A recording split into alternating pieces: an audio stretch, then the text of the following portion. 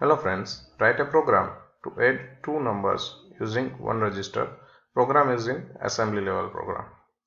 So now you can see my all memory address are clear. So which start from 2000 and all register are 0. Now write the program mvi a comma 0 5 adi 0 3 sta 2000 and HLT all the program. Now execution step by step. First of all I will not save the program. First line MVI A comma 05 so 05 value stored in accumulator. So accumulator is 0 now check.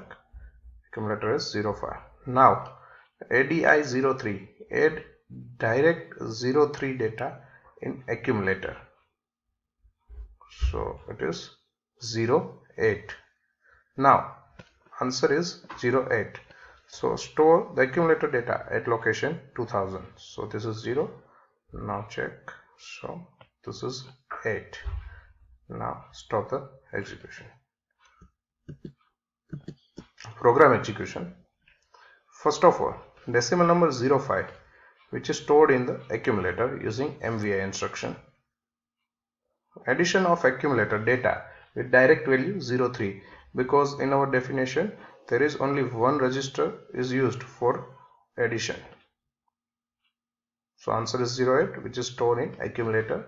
We already saw uh, see in program. So answer in memory location store at location 2000 so answer is 08 thank you for watching this video. Please like share and comment. Subscribe my channel on youtube chirag thank you